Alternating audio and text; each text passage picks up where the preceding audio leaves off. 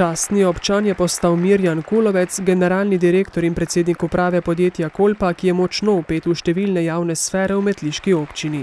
Mislim, da je to zelo velika čast, ki jo lahko človek doživi v svojem življenju. Dejansko pa je to tudi neka, nek pogled mojega dela za nazaj in dokaz, da sem delal in bil na pravi poti celo življenje. Plaketi občine Metlika, ki je največje občinsko priznanje, sta prejela kamp Podzemelj.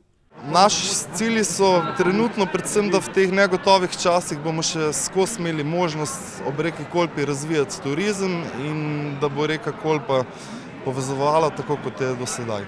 In Jože Nemanič iz Čuril, dolgoletni predsednik Gasilske zveze in Rdečega križa v Metliki. Vse od zadaj stojijo ljudje in pa predvsem moram poudariti to, da tudi občani in pa seveda širši organi posamezne inštitucije. Mislim, da je to priznanje vsem tem. Podelili so tudi priznanja za delo na področju športa. Športnica leta je postala lokostrelka Urška Čavič. Osebno mi pomeni zelo veliko, ker se trudim za to in vsak trud mora biti tudi nagrajen in mi res veliko pomeni. Perspektivna športna ekipa leta pa je postala mladinska ekipa rokometnega kluba Metlika, priznanje za razvoj popularizacije športa v Metliki pa je prejel rokometni klub Metlika. Nasploh je za občino leto dva tisoč petnajst precej uspešno.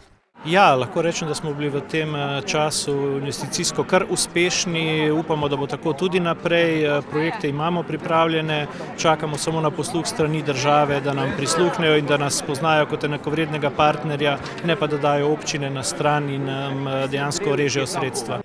Župan je v svojem govoru izpostavil tudi žičnato ograjo, ki so jo postavili ob meji, v želji, da ta čim prej izgine in se življenje ob reki Kolpi vrne v normalne tirnice.